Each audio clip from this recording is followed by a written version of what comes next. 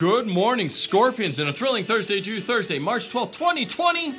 Hey, did you know? In 1921, Nobel Prize in Physics was won by Albert Einstein for his work in the field of theoretical physics.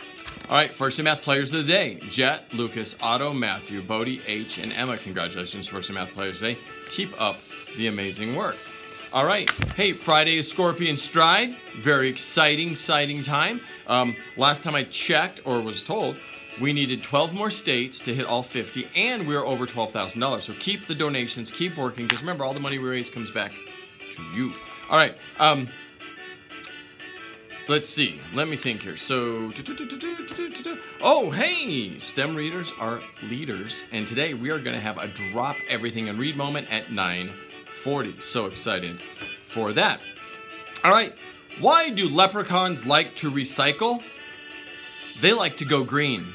All right, have a great day, make great choices. What would a kind kid do? Let that guide you. Be respectful, be responsible, be kind, make great choices, and we will see you around campus. Hey, think, what would a kind kid do? And treat others like be treated, speak to others like to be spoken to. Have a great day. We'll see you around campus.